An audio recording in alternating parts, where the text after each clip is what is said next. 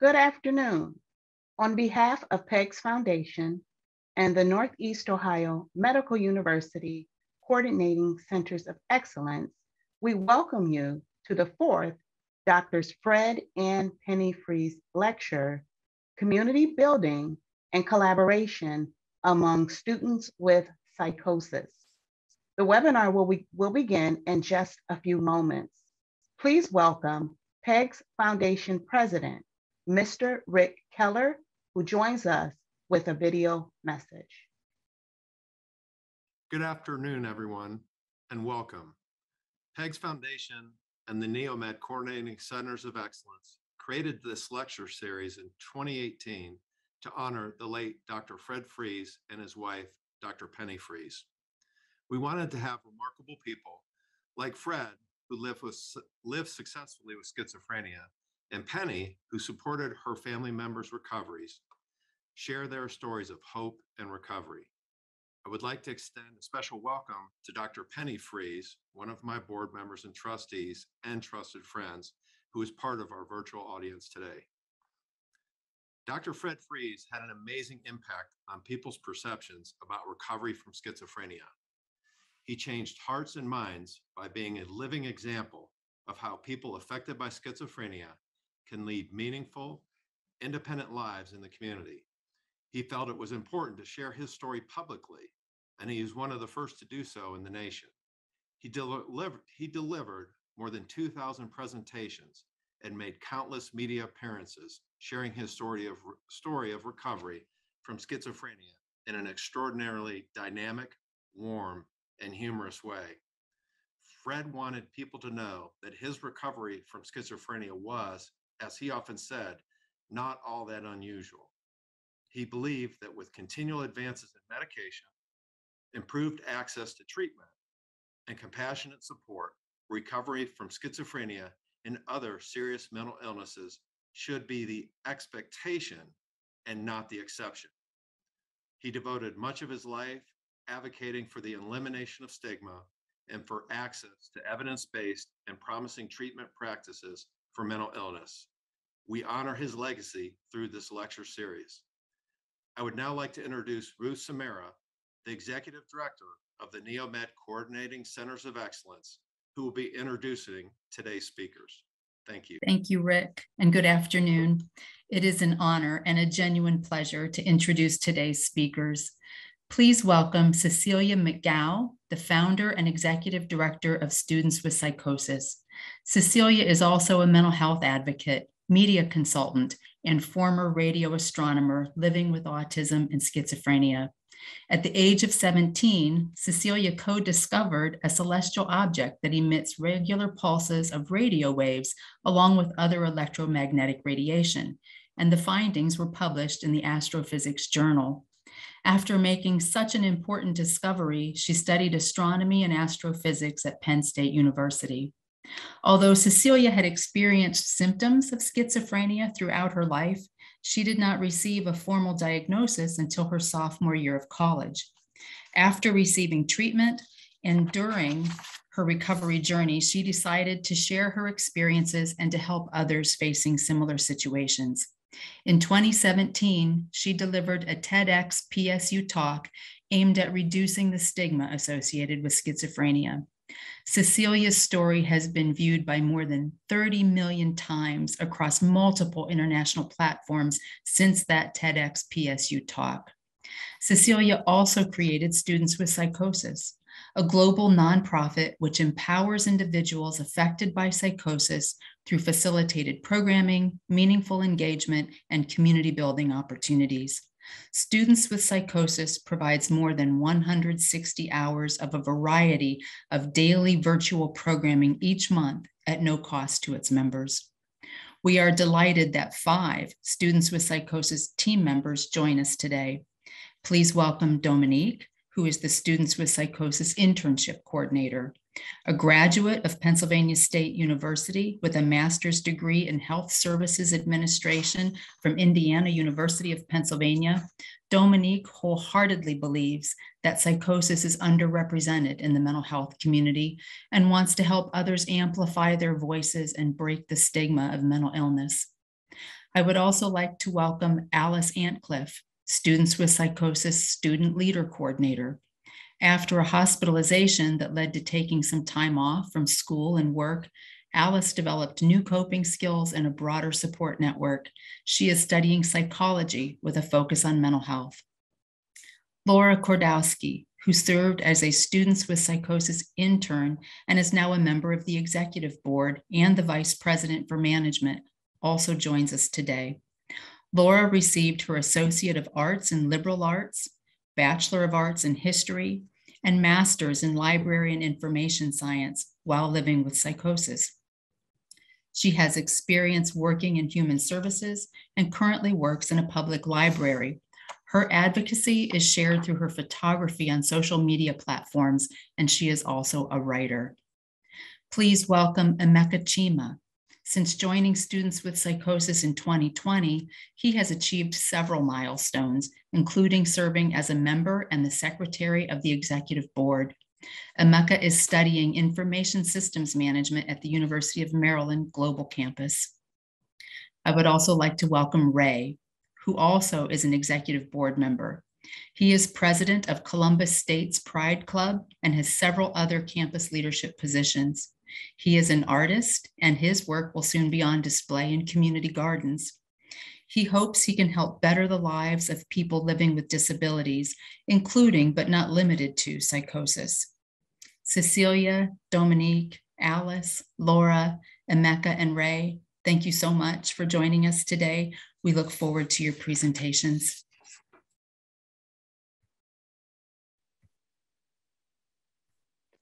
Thank you so much, Ruth, for that introduction. And thank you everyone for attending this lecture today. My name is Cecilia McGough, and I was an astronomy and astrophysics major at Penn State University. In high school, I was lucky enough to co-discover a pulsar through the Pulsar Search Collaboratory, a pulsar being a super dense neutron star that emits electromagnetic radiation. Think of a star much, much larger than our sun, exploding its outer layers and leaving behind a dense core. That core can be our pulsar. This discovery opened some doors for me, such as helping represent the United States in the International Space Olympics in Russia and being a Virginia Aerospace, a Virginia Aerospace Science and Technology Scholar through NASA Langley Research Center. But during this time, I had a secret, a secret that I was too scared and too embarrassed to tell anyone. That secret is, well, I have schizophrenia. What is schizophrenia? Well, schizophrenia is very much an umbrella-like diagnosis. Uh, but for me, uh, in, in this presentation, I'll be talking a bit about my personal lived experience. I am someone who sees, hears, and feels things that aren't there, and also experience a certain level of paranoia and delusions. My life changed drastically in February of my freshman year at college when I tried to take my own life. Why, you might ask? Because my life had become a waking nightmare. Everywhere that I went, I started hallucinating a clown, a clown very similar to the older adaptation of Stephen King's It. And let me just say, I wasn't a good time when they made a remake and then a sequel. I heard the sequel wasn't so good, so I'm hoping that they won't make any other ones. But that's not the only hallucination uh, that I experienced. I also experienced other hallucinations such as spiders. Some of the most difficult for me to discern from real life is, well, small spiders, because we see spiders every single day, or at least uh, like we see them in our everyday life. And something that helps me with discerning whether or not a spider is real or not is taking my phone and taking a picture to seeing whether or not it's real. But I also hallucinate large spiders though as well. One comes into mind in particular, rather large, leathery skin. No voice would ever come, like no words would ever come out of its mouth, but the creaking of its legs would sound like young children laughing. It would be highly disturbing.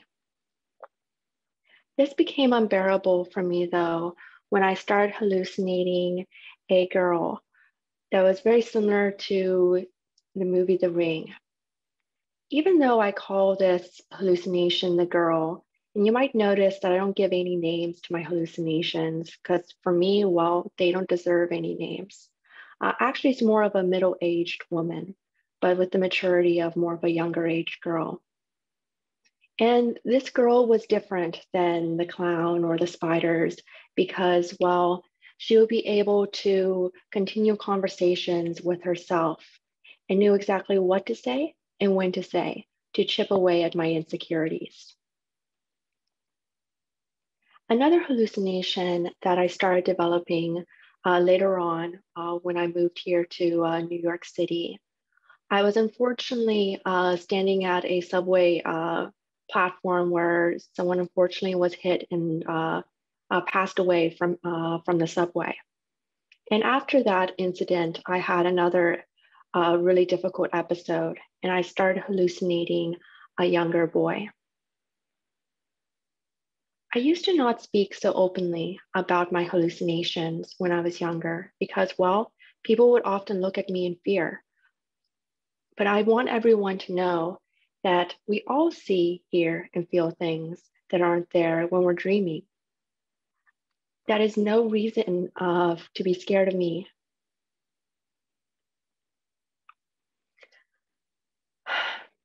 I remember it taking me a very long time to finally get that proper medical treatment. It took me eight months, eight months after my suicide attempt to go and see a doctor.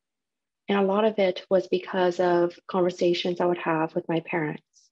I remember being on the phone with my mother saying, Mom, I'm sick. I'm seeing, hearing things that aren't there.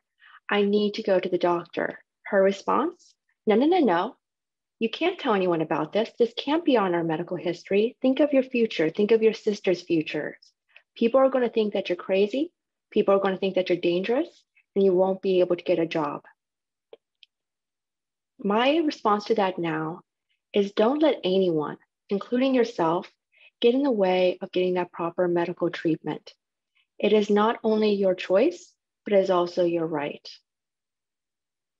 I'm confident that I wouldn't be here today if I didn't get that proper medical help.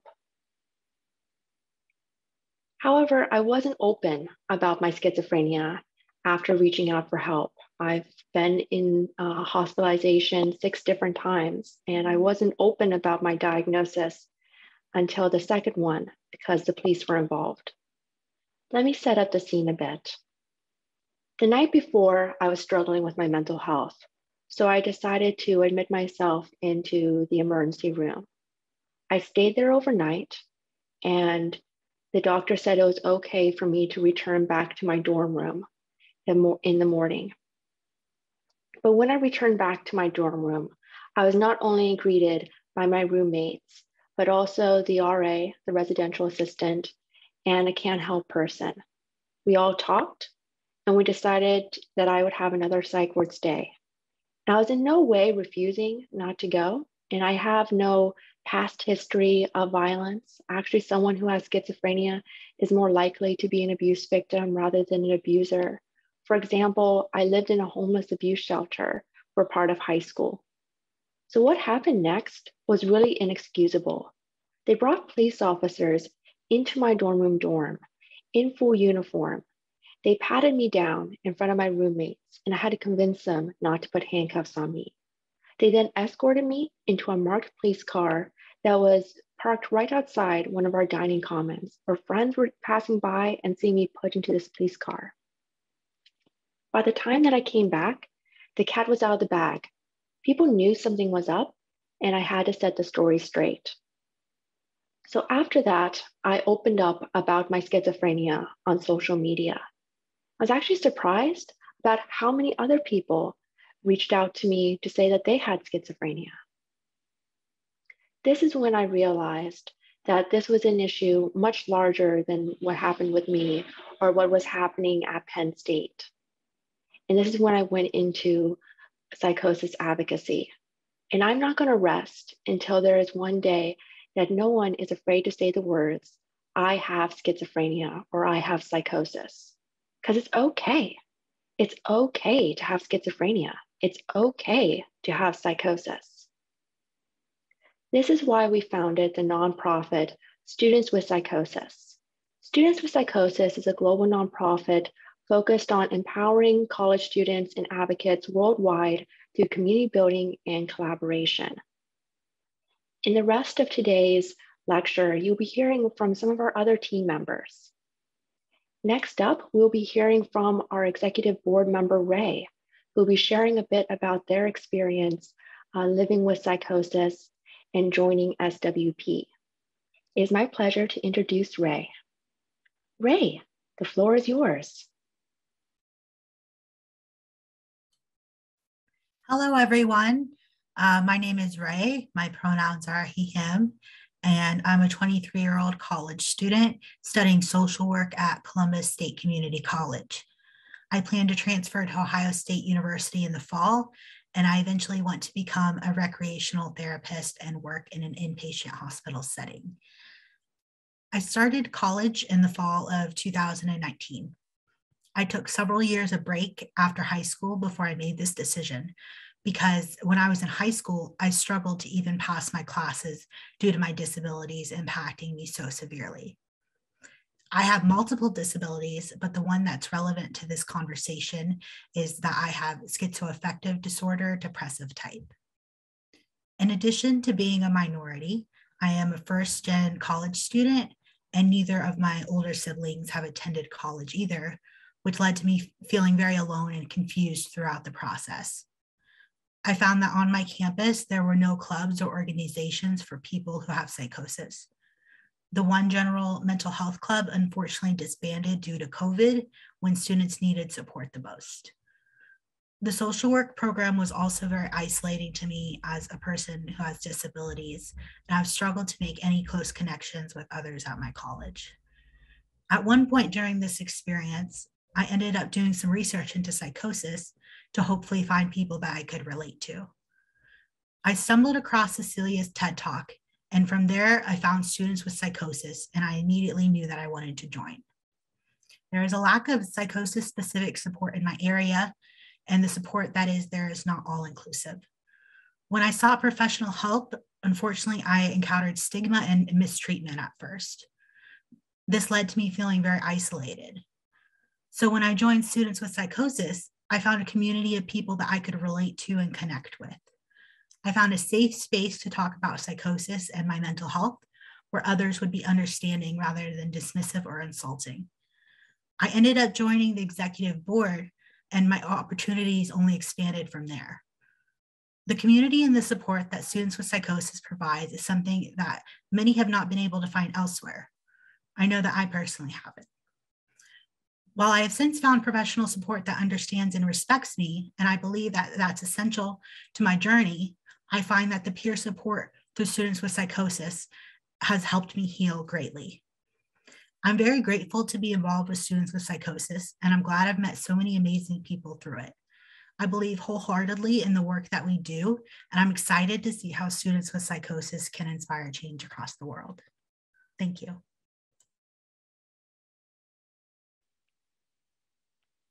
Thank you so much, Rei, for those powerful words and sharing some of your experience with us today. Next up, we have our intern coordinator, Dominique. Dominique, take it away. Hello, everyone, and thank you, Cecilia, for the introduction. A little bit about me. I have been with students with psychosis for a little over a year. I joined students with psychosis during the onset of the pandemic and learned how resilient and adaptable students could be, especially despite a condition society labels as severely impaired. I started off as an intern, seeking others that I could relate to. A part of my treatment plan is going to group therapy. Over the years, I never found someone with psychosis. I felt alone. However, I discovered that at SWP. I gained confidence in my ability to amplify my voice, leadership skills, and inspiration and insight from a community of those I believe have colorful minds. Being with students with similar experiences me at first was a shocker. but it gave me lasting confidence and agreement that the illness would not hold me back. I did much meaningful work in my role as an intern and gained a wonderful community. Luckily, after a few months, I advanced to inter- internship coordinator. I used my leadership role to empower other students and prospective students to have the same experience as I did. That optimism, hope, and connection grew. This is what helped my recovery. So, about students with psychosis. Well, our community is quite unique. The programs we offer here are 100% powered by those with lived experience. Yes, we particularly cater to the student population for the reason that by average, psychosis appears during the onset of adulthood, typically before the age of 24. This source is from the World of Psychiatry Journal. Well, adulthood falls under the college years, early adulthood, and many of the students experience their first break of psychosis during college, which I did. So we support students to continue and empower them to advocate for themselves in either academia or the workplace. We see a world that, adopt, that adapts to those with disabilities rather than isolate us by complacency and confusion. Our programs fulfill, the, fulfill to meet the needs of our community. We stimulate discussion around worldwide intersectional issues and offer peer support to inspire students to keep going. Some of the ways we do this is by cultivating an inclusive environment that everyone feels welcomed, allow accommodation and sensitivity to health and well-being, and give student leaders the ability to lead discussions around our insight into treatment and recovery. We believe in growth. It's true that psychosis is underrepresented in the media, but our community is very represented. Our community is made up of students coming from diverse backgrounds, regions, and identities. Our goals here as Students with Psychosis aims to expand mental health, brain health advocacy at the college level to ensure psychosis representation, including a global perspective. Too often is psychosis left out of brain health um, and mental health conversation on college campuses, and our narrative is often limited, excluding intersectional community members. Our primary objectives include growing and connecting our virtual and in-person programs, organizing outreach initiatives, and founding in-person college clubs, affiliates, and hubs. Thank you.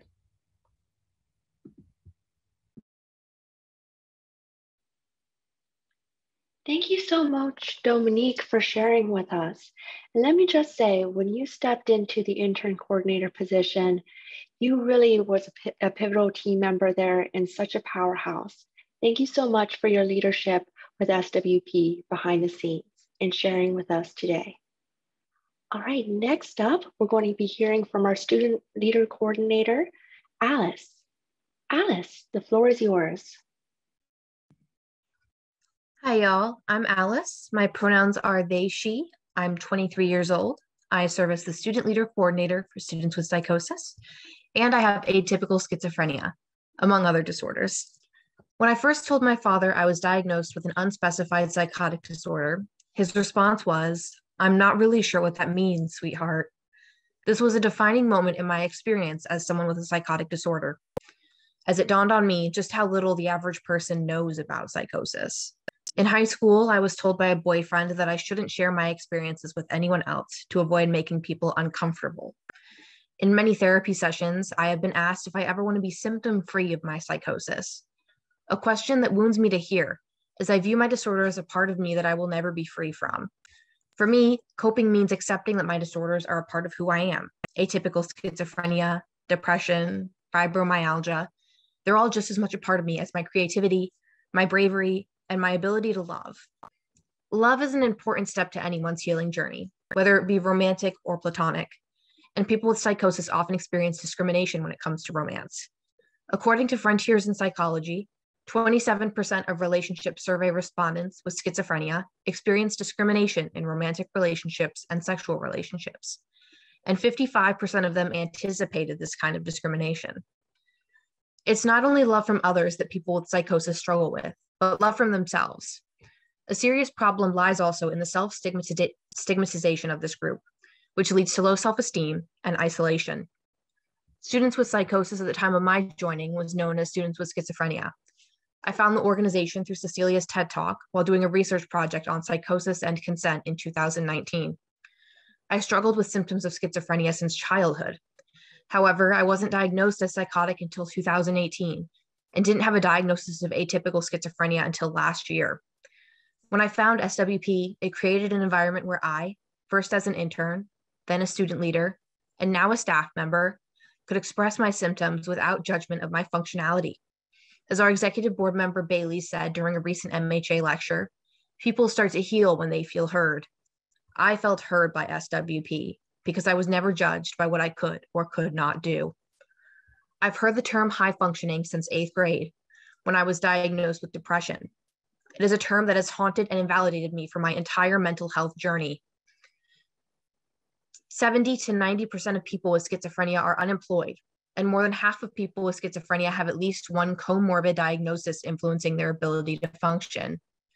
High functioning is loosely defined as the ability to carry out one's daily tasks by an article from Verywell Mind. Tasks like brushing your teeth, walking your dog, going to work or school, and exercising regularly. Every day, I have a fight in the bathroom. It takes so many spoons for me to brush my teeth that I have broken down in tears trying to gather the strength to open my toothbrush case. However, I am perceived as extremely high functioning by mental health care providers because I take online classes, I maintain a social life, and I've had jobs. This may be more than some, but it never feels like enough for me because I see the small tasks that I struggle with every day of my life. I notice when I skip brushing my teeth or don't shower for a few days or make my bed once a week at best. Due to this label of high function, I'm afraid to apply for disability or ask for any form of support when I need it. This is despite the fact that 64% of people with schizophrenia were viewed as highly disabled in a 2006 study in the Indian Journal of Psychiatry. Schizophrenia was actually labeled as maximally disabling, and the only disorder of the seven that was studied with a higher disability percentage was dementia. Despite this, about a quarter of people with psychosis who apply for disability aid are rejected. What I'm trying to say is psychosis and mental illness look a little different on everyone. Terms like high functioning and symptom free living take away from the invisible daily struggles and battles we all face. You can't have the understanding of the lived experience until you live it.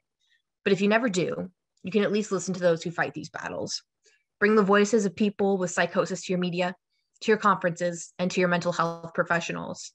Thank you for letting us bring our voice to your lecture series.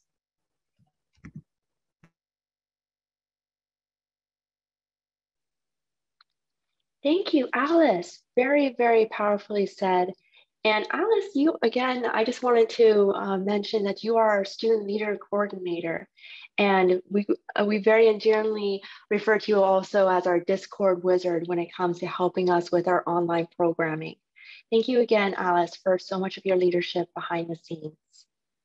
All right, up next we have Emeka Chima. Emeka is our secretary on our executive board and a dear friend.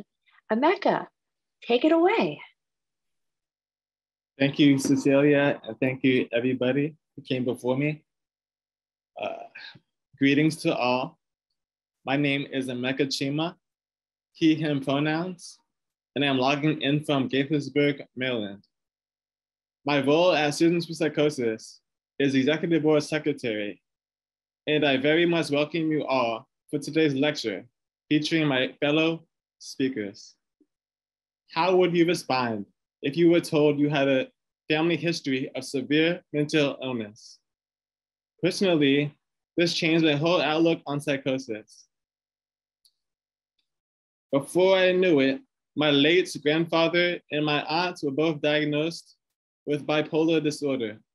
I would soon discover their selfless sacrifices as they dealt with schizophrenia and later on depression, the future awaits a world where illness is synonymous with health and recovery for a better life and a better relationship with loved ones. Around the time I was diagnosed with paranoid schizophrenia, I also faced a mild case of depression. Living with these chronic illnesses meant recovery was no easy feat. Depression caused me bouts of fatigue, lack of motivation, disruptive sleep, insecurities, and low self-esteem. On the other hand, schizophrenia had created my mind into a simulation of hallucinations and delusions. Everything I had experienced was life-changing and transformative. Here at Students with Psychosis, we welcome these experiences for greater insight and encourage others to open up about their own life-changing experiences. I consider myself a Black Indigenous person of color. I was raised by a Nigerian father and a mother from Washington, D.C. Whenever I face barriers in mental health and life in general, I lean on my guardians for support. Following my diagnosis, I began to perceive how interdependent my mental health was with my family heritage. I had developed a newfound relationship with my own identity.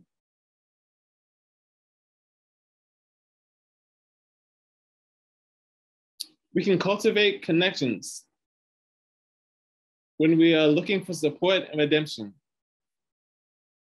The year 2020 was definitely filled with many twists and turns due to the massive COVID 19 outbreak, which took a toll on my mental health. The COVID 19 pandemic has awakened me to a not so distant past, where there was much uncertainty and internal stigma. This reminds me of when I was diagnosed with autism at age 10 and faced the onset of schizophrenia and depression at age 15. There was isolation, especially for my conventional support system, who seemed to be more occupied than accessible. There were shortages of medication, which became too scarce due to higher demand and short supply. There were symptoms which seemed to stem from a future, fear of a future that will never truly understand my mental illness. That is until I discovered my place at Students with Psychosis, years after being on a search for an answer. April 2020 was quite the milestone. It was the first time the nonprofit organization Students with Psychosis witnessed its biggest growth by 40% in its members. It was not a coincidence when I became actively involved as a student leader going on executive board secretary for SWP. This positively impacted my life with new connections and new opportunities along the way. At its foundation, SWP represents an initiative that has strived on diversity where the rest of the world has been divided.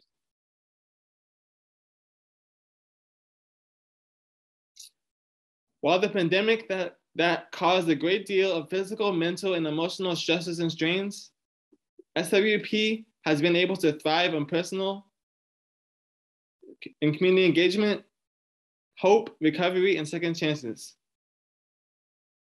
Together, we have been able to, to engage in spearheading virtual and in-person meetups, as well as making new discoveries. Students with Psychosis has given me a platform of belonging, acceptance, and inclusivity with not only a centralized community, but also one that is very personalized to learn to create and to interact. Our hope is to foster an organization with these outstanding qualities for all joining members, shedding a positive light on mental illness in the face of adversity. Thank you.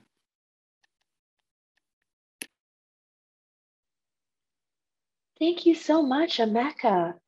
Such a good delivery there when it came to your presentation. And also, I just want to add as well, uh, like as Emeka mentioned, they joined SWP in 2020. So I first met Emeka virtually through our virtual programming. But then on our first meetup, you can't really tell via like Zoom, but Emeka's really tall. So I looked up to you, Emeka, before, like in the virtual programming, but when I met you in person, looked up to you in a very different sense. Thank you again, Emeka, for sharing. All right, last but definitely not least, we're going to be hearing from Laura. Laura is our, uh, our VP of Management on our executive board. Laura, take it away.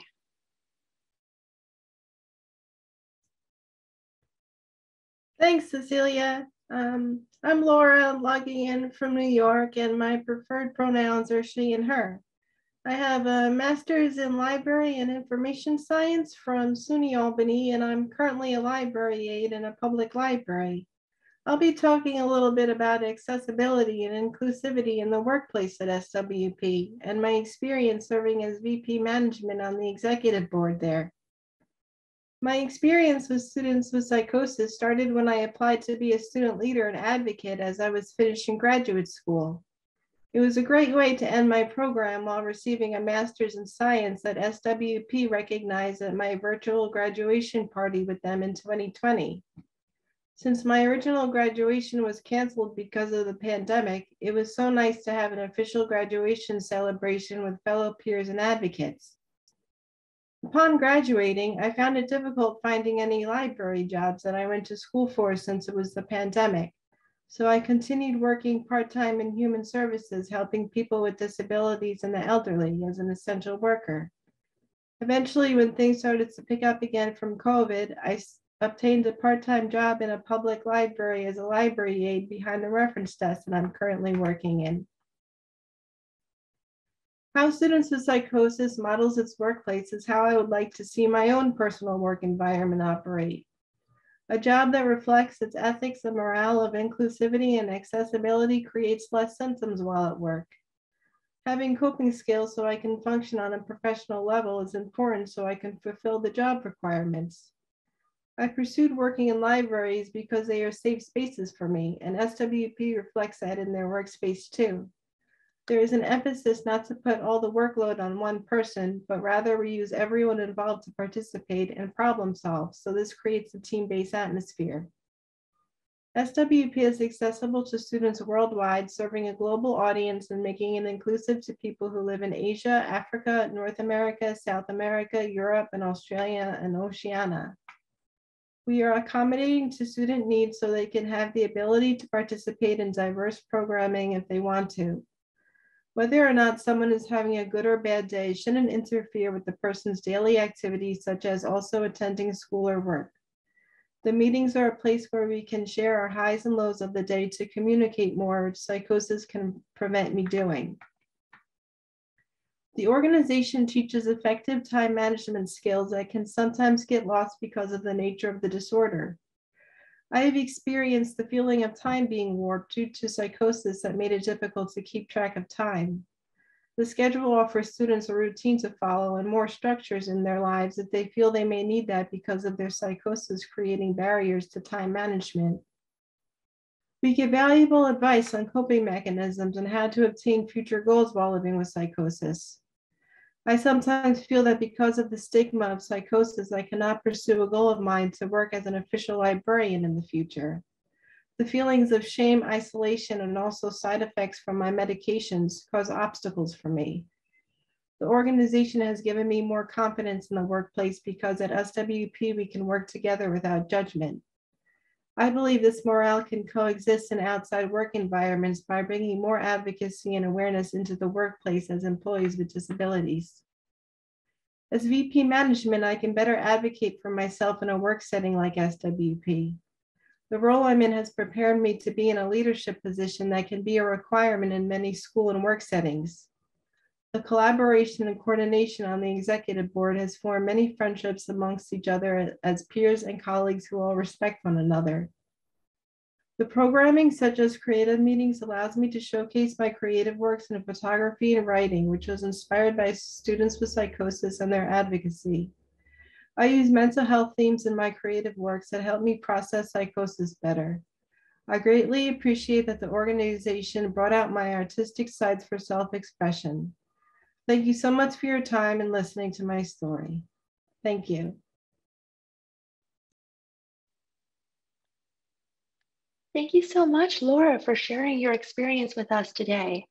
I want to again thank all of those that have shared today. Thank you, Rei. Thank you, Dominique. Thank you, Alice. Thank you, Emeka. Thank you, Laura, for sharing. I'm going to be talking a little bit more about uh, students with psychosis, what we do, and how to get more involved. So we've been talking a bit about our virtual programming with students with psychosis. I am very proud that throughout the pandemic and continuing on today, we offer four to five hours every single day of facilitated programming for our students and advocates at no cost. And we have a variety of different types of these virtual programmings based on the comfortability of those who want to participate. For example, every day we have a, at midnight to 1 a.m. to noon to 1 p.m.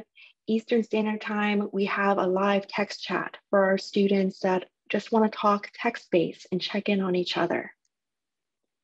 Also, every morning at 9 a.m. Eastern Standard Time, we all have an audio hangout where our students can uh, tune in and get to connect with their fellow peers.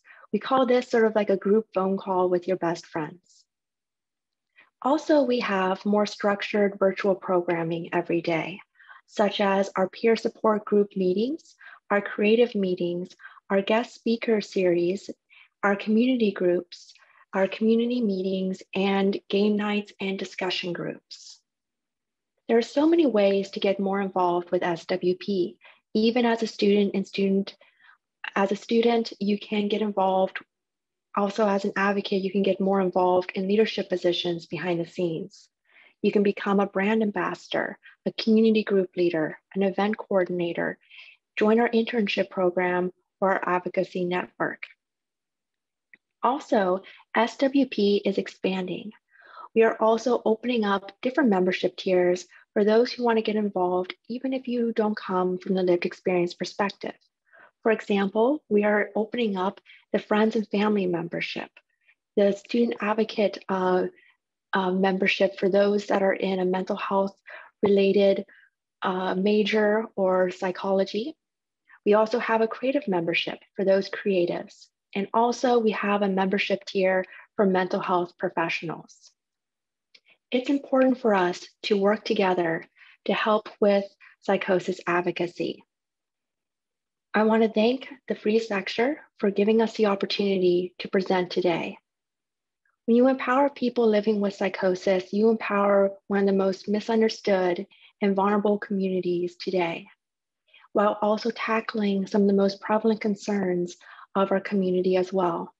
Since community members living with psychosis often have that overlap with those that struggle with housing insecurities, food insecurities, the dropout rate from college, uh, unemployment.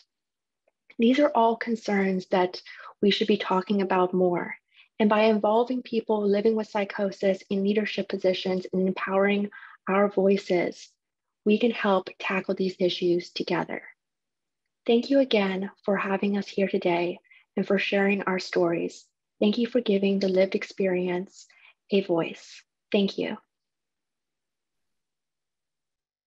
And so thank you, SWP, Cecilia, Rei, Dominique, Alice, Emeka, and Laura for that awesome and informative presentation.